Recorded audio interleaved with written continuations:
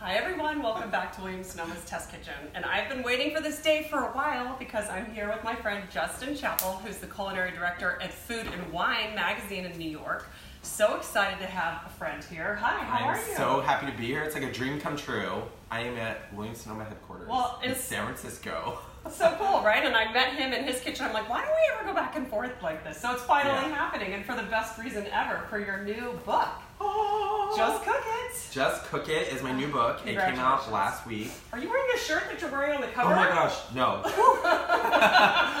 um, it's my new book. It came out last week. Um, I am so excited to release it. Yeah. It took forever, as you know, as a Yeah. cookbook author yourself. It takes forever to write a cookbook. So long. And um, to finally see it go into print like this, I'm really excited. So. Such a rush. And I'm right? so proud and happy to be partnering with Williams Sonoma Oh. um, on a couple signings. We had a signing in New York City last week So at cool. Williams Sonoma Columbus Circle, and today in San Francisco, You're going downtown. downtown Williams Sonoma Union, Union Square, tonight, six.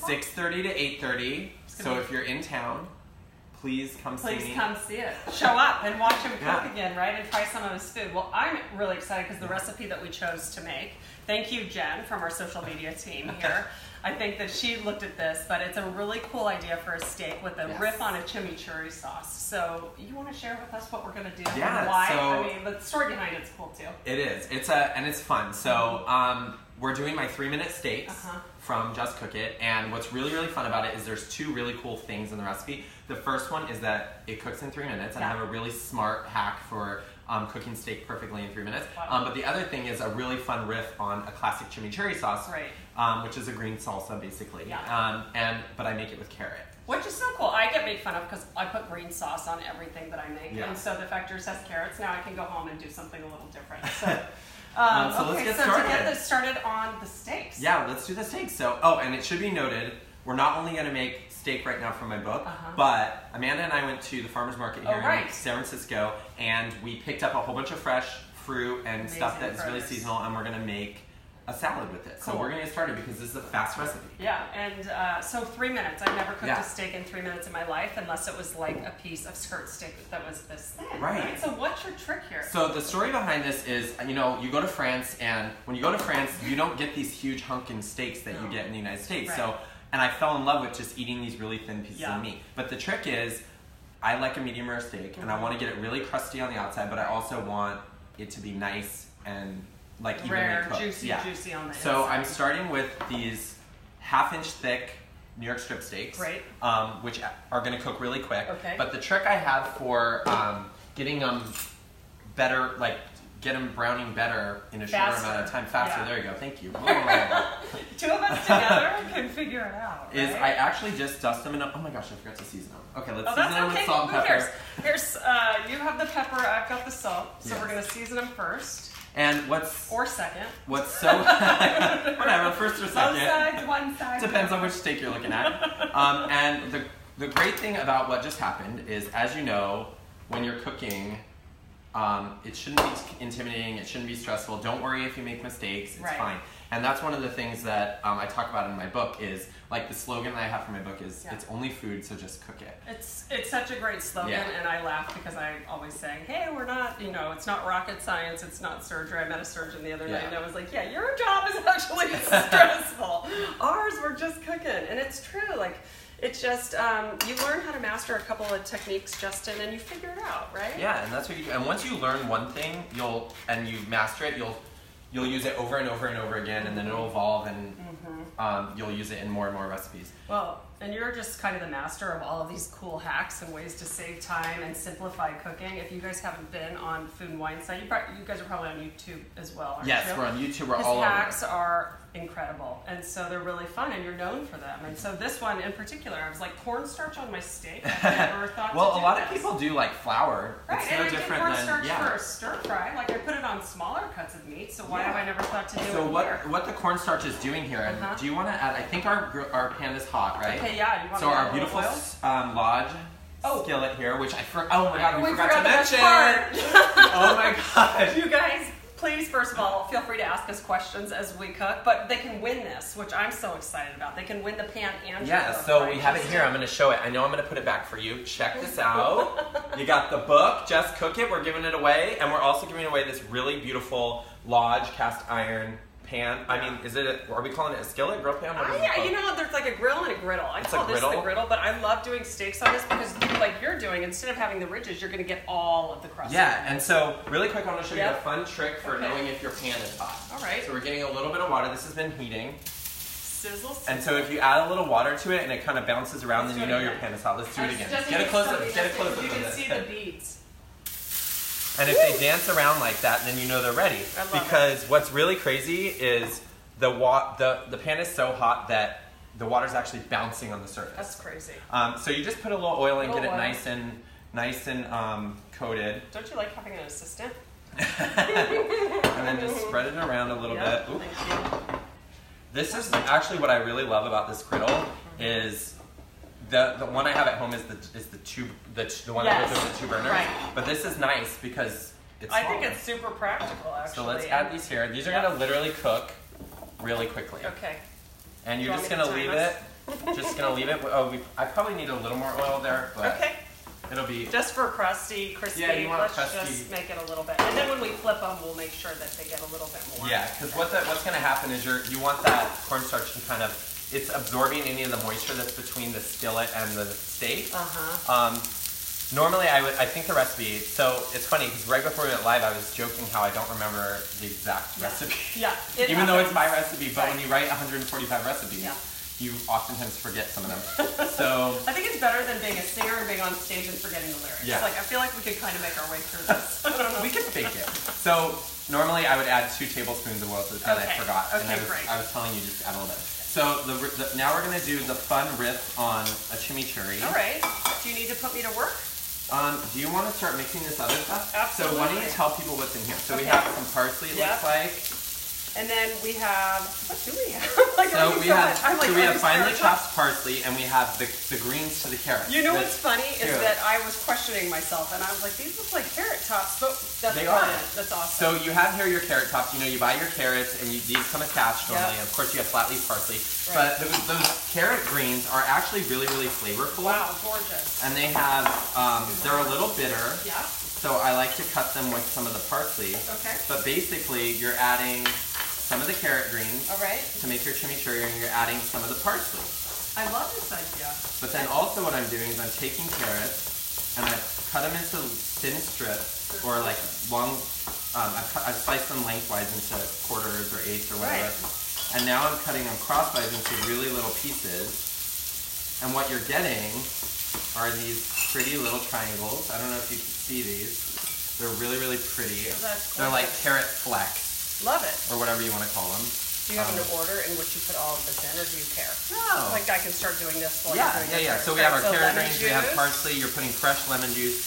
garlic. There's some finely grated garlic. Oh, gar- garlic. grated, I'm kind of obsessed with. They make fun of me here because I never grate my garlic, and the Yeah. chef came in and did it, and I'm like, why don't I do that more often? Because you just get mixes up so much better, you know. So it's like you get that subtle flavor throughout instead of these chunks of garlic that are kind of in your Yeah. face, right? And you don't have to.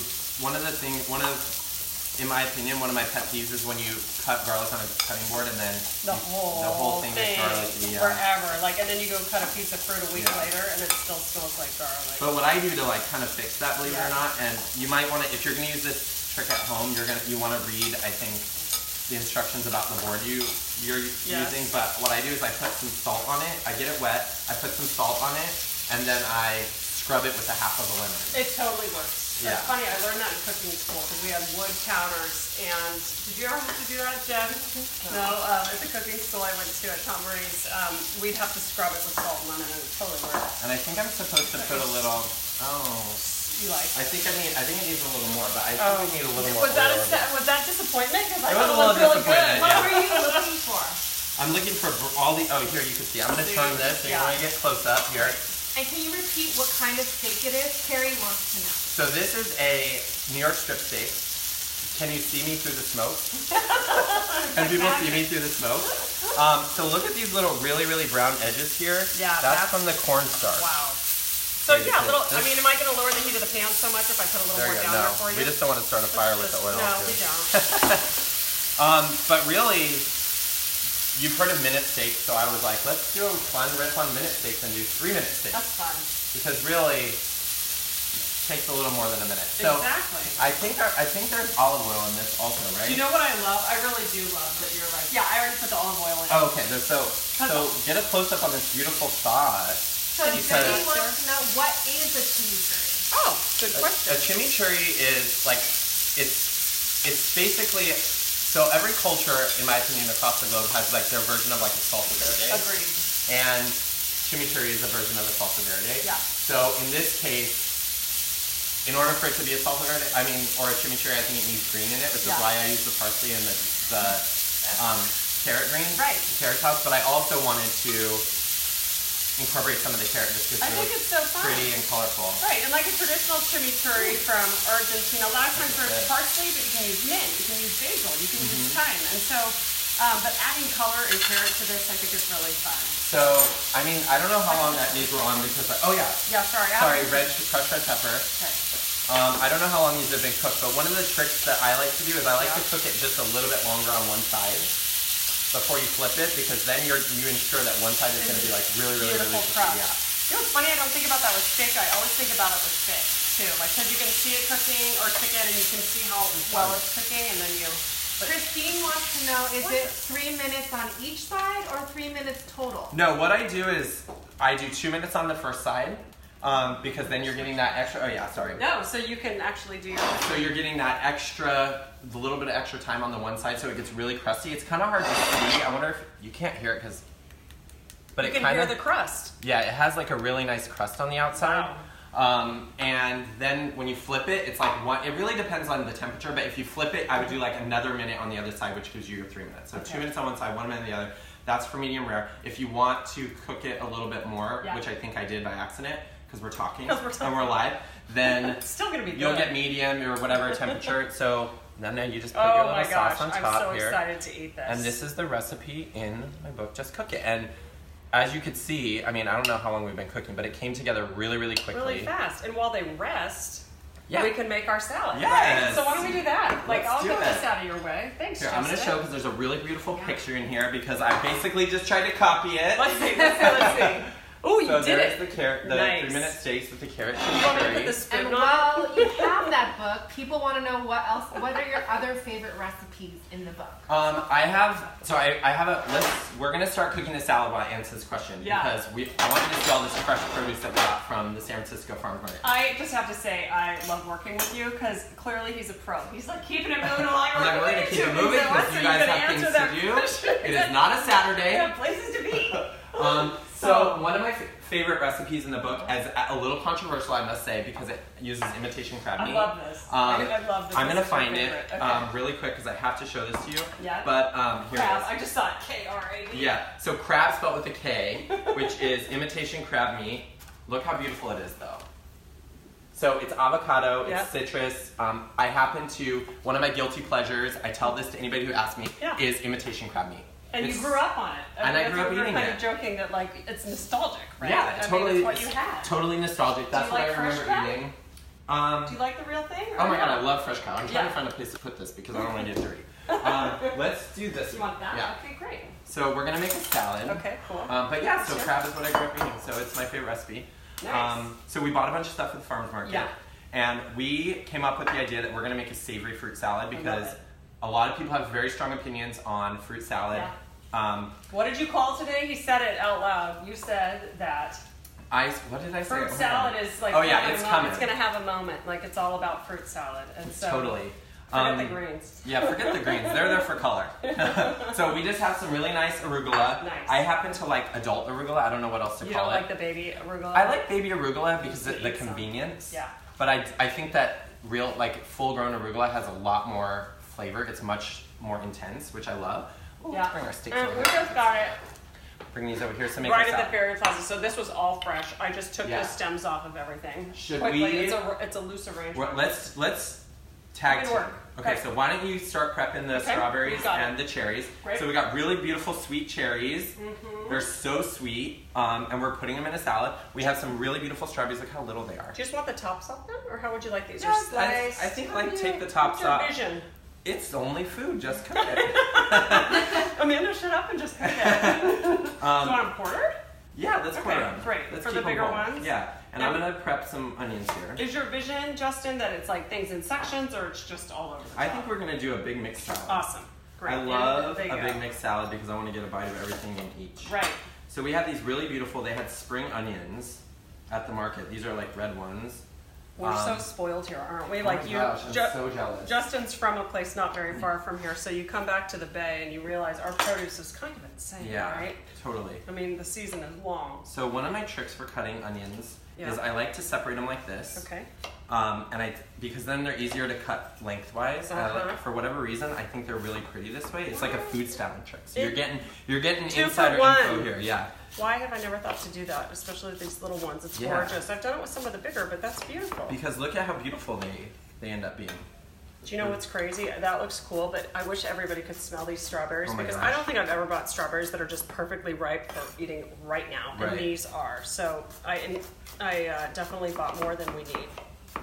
And we have these really beautiful onions. And I'm going to show you another trick. Will you grab that bowl behind us with the sieve um, absolutely. and just put a little water in it? See, I love you're just teaching me tons of things today. These are all the things I do on a regular basis, this so I like to share them. Do you So- want it coming up? Uh, yeah, a little bit more water. Sure. Because what we're gonna do is I actually like to soak. I like to soak my fresh onion if I'm using it raw. Oh just in a little ice water, which not only gets it really really crispy, but it just takes that little bit of edge. Love this idea. Yeah, so I'm gonna add Is that it. enough water for you? Um, we might need a little more. You or you can add more ice. I'm just gonna say, Yeah, I'll let's add, add more, more ice, ice. and we'll fill it up. And when they have this really awesome crushed ice here that I'm so jealous of. Yeah. I'll even get you a glass of ice water Look at afterwards it. Look at this like. beautiful ice that they have.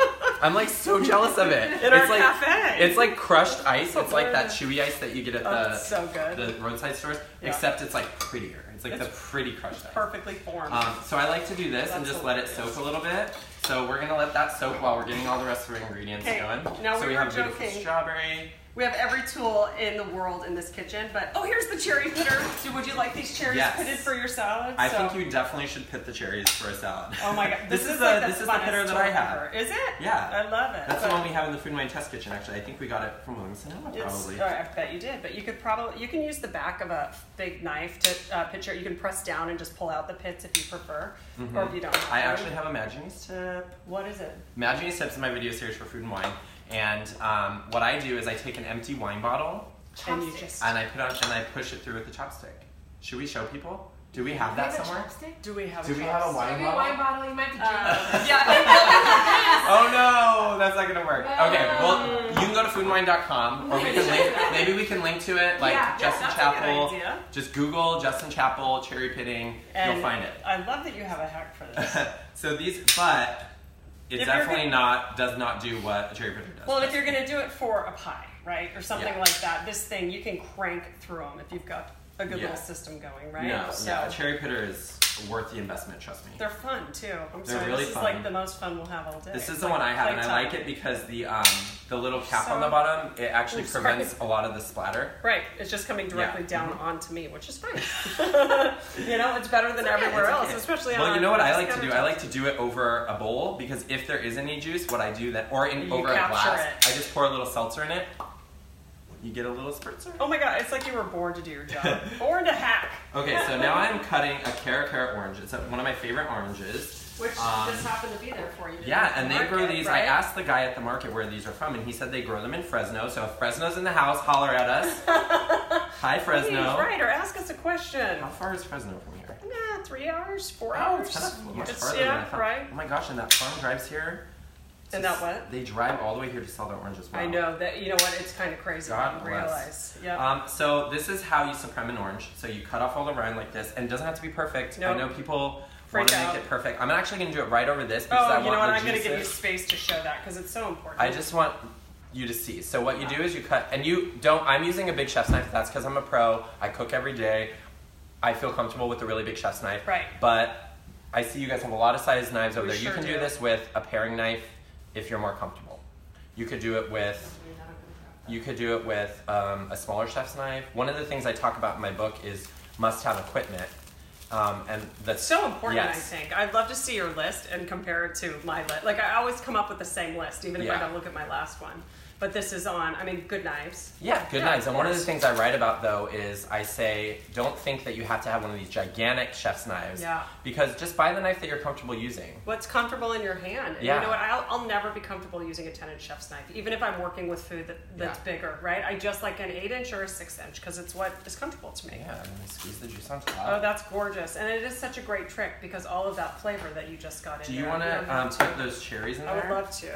I'm going to I would have say it. have them. Yep, yeah. Have I'll let you and do then- that. I'm gonna do Of course, I didn't want to forget it about our gorgeous cheese oh, because gosh, we've got cheese and the nuts that you've been toasting. Oh yeah. This is pretty much my dream salad, Justin. It's fun. It's like we're going with the savory fruit salad. I think our our bowl was too big. I got really excited by this beautiful wing I know, right? It's inspiring, but that's okay. Like But one said, of the other things food. I like to do for salads, hmm. I like to create different shapes. So if you're doing two oranges, maybe do one as supremes. Oh, that's Do cool. one into beautiful slices like this.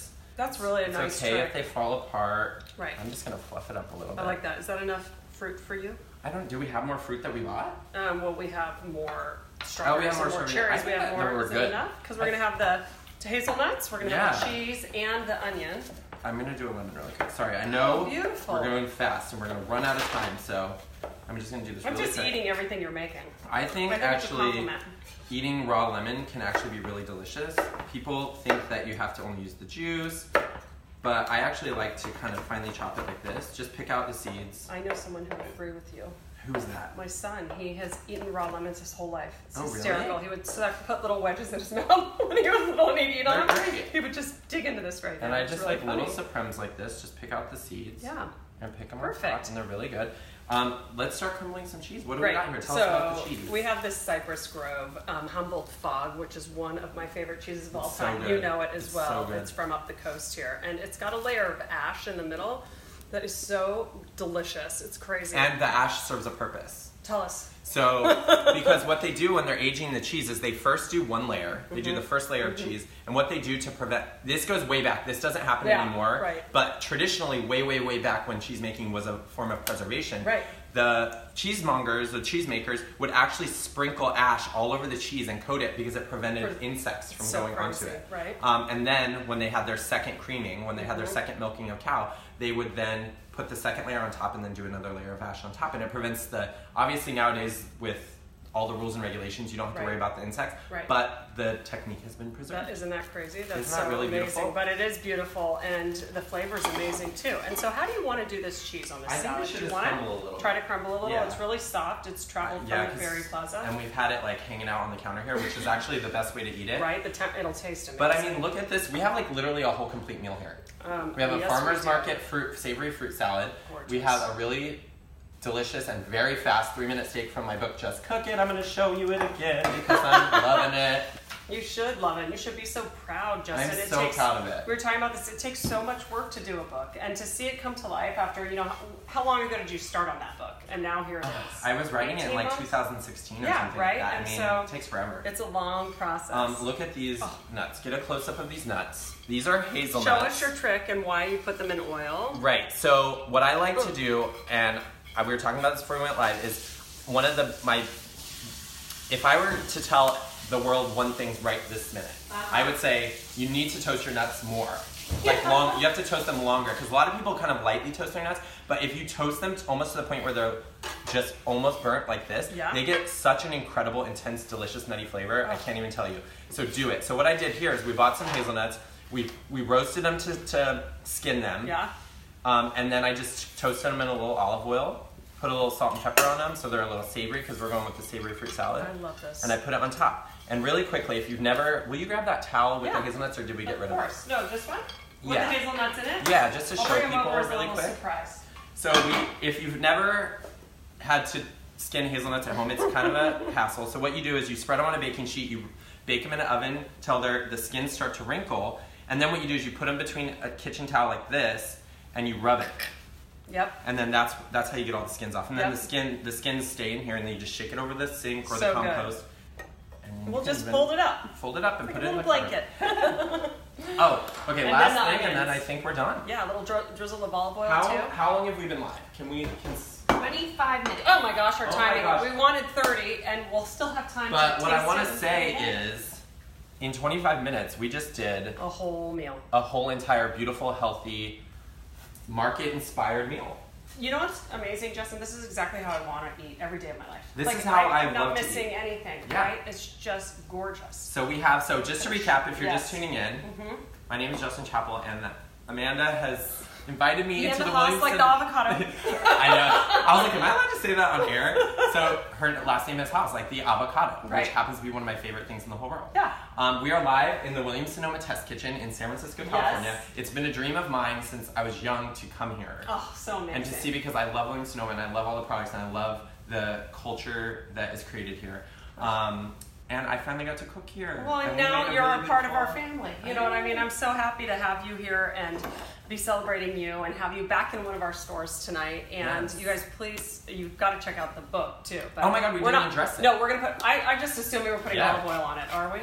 Well, and the then we have to taste your steak. I'm sorry. While we pick our winner, maybe we can taste your steak. Yeah, I think we should put a little What else do you want? Is this oh, Jacobsen gorgeous. salt? Jacobsen sea Shameless salt. plug, Ben Jacobsen sea salt. It's so delicious. What I love about this it. salad is Yeah. one of the reason one of the things that makes it so simple and easy Yeah. is you don't have to make a dressing because so- 'cause you have the of the citrus, the, juice. fruit, all of that is Right. your dressing. Yeah, it's Olive oil, gorgeous. boom, boom, we're good. Okay, is it so bad if we just like slice in I and we kinda both try we should, some? yeah. Come on, let's see. Let's both. We've got you, his and hers. Here. I'm gonna take a kerner. I John wants to know what wine would you pair with this? Oh, are you a wine lover, aficionado, drinker? After Mm. after that bite, I would say I took a bit too big of a bite. you can say that first. I'm gonna say while we're waiting for you that the crust on it is delicious It's and it makes a huge difference. I'm gonna do this all the time now.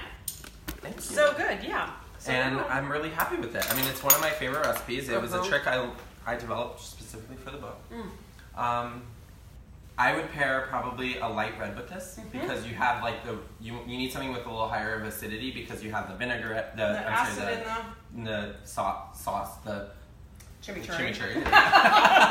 Whatever, Whatever it's called. the That orange sauce. green stuff. Yeah. Um, I'm just gonna keep eating. yeah, let's do it. No, it's amazing. So I would agree with you actually. As I tasted this, there's so much acid in it that I don't think you need a bigger, fuller wine, but something light would be fantastic. Now I'm going to see if anybody commented and who gets to win your book. Yeah, do we are we gonna give away a winner? Woo! Drum roll. Drum roll, let me get it so you can see what you're getting. you're not only getting The Lodge griddle pan, grill love- pan. yeah, which I think is new, right? It was, Yes, I it is new. it Yes, absolutely. And what's the other new thing in the room? Just cook it. Just cook it by yours truly. All right, so I'm gonna let you announce who the winner is. Oh, you are? That's exciting. Are you ready, guys? Are you ready? Gals, Carrie Justice, you're the winner. You are the winner. So fun. You're going to love the book and you're going to love the pan, too. Yes, and you're gonna cook things from the book in the pan. You're gonna post it on Instagram. Yeah, exactly. You know what? I can't wait. And they're going to tag you so they can see what they're cooking. So I just want to thank you for coming. What a fun time. And as you, can see, I like this. So we're, I hope we're going to sit down after this and actually enjoy the Yeah, meal. But and we're gonna have a big barbecue later here. The Yeah, we are going to have a big barbecue here later. So thanks everybody for tuning in and joining me with Justin Chapple, and we'll see you soon. Bye. Bye. I'm gonna try.